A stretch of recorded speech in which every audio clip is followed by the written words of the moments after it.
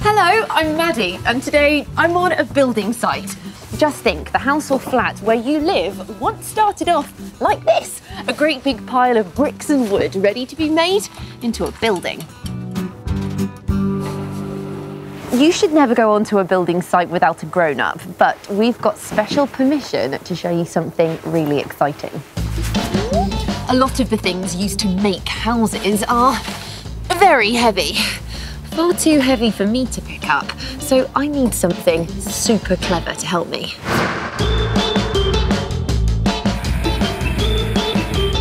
Can you guess what it is?